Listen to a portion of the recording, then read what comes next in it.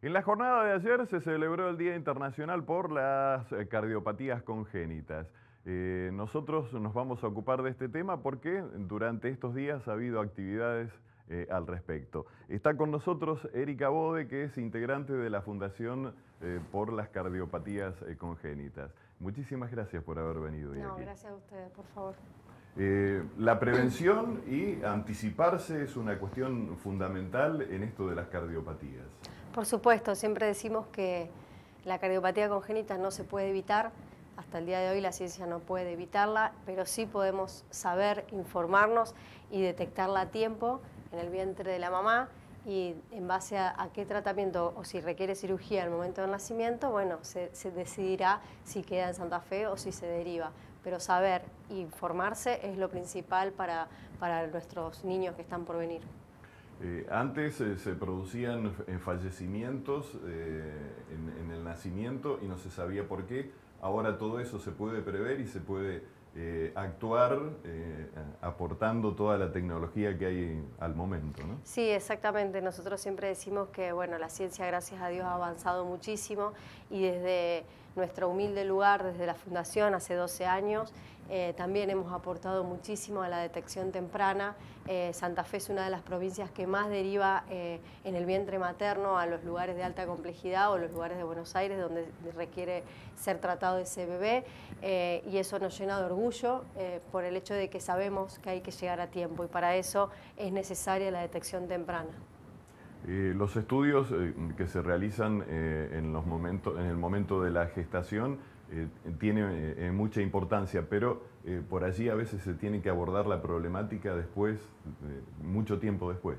Sí, sí, el, tema es que por, justamente por eso hay que detectarlo en el vientre de, la mamá para saber si esa cardiopatía puede nacer y estar bien y no necesitar cirugía o tratamiento en el momento del nacimiento, o sí porque eso es la diferencia. Muchos eh, antes, ahora sigue pasando, pero en menor medida, pero pasa de que no es detectado en la panza y, surgen los inconvenientes, surgen las derivaciones, no hay, no hay avión sanitario.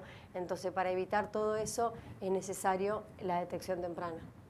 Eh, ¿Ustedes están manejando algún tipo de estadísticas o de datos respecto a la cantidad de casos y eh, la evolución que tienen los mismos? Oficialmente no tenemos números, eh, se habla de 7 cada mil, pero la Fundación está también luchando y, tratando de que salga una ley de registro único donde se denuncien los casos, porque no son pocos.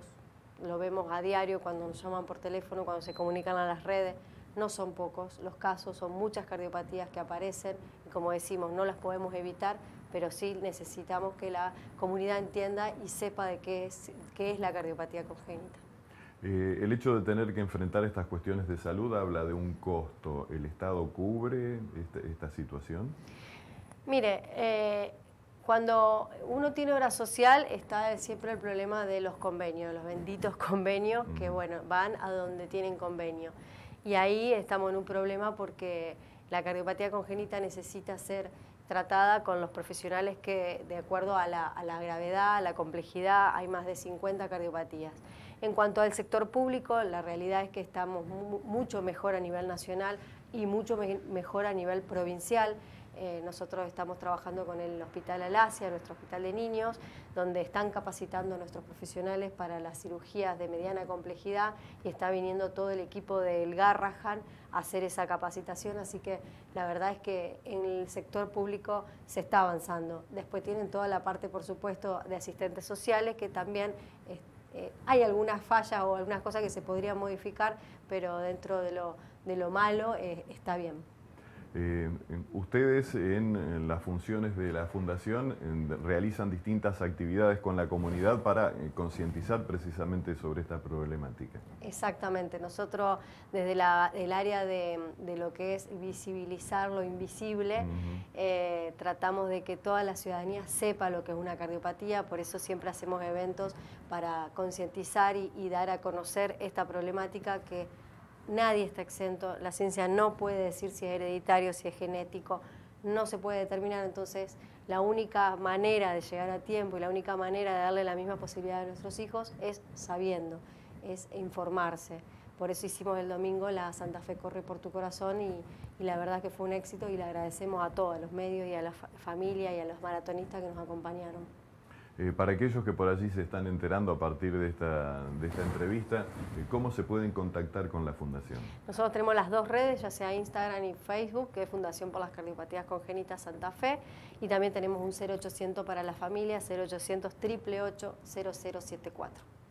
Eh, Erika Bode, muchísimas gracias por haber venido hoy aquí con nosotros. No, muchas gracias a ustedes. Siempre decimos que sin la ayuda de los medios de comunicación sería mucho más difícil llegar a, sus, a los hogares, así que les agradecemos.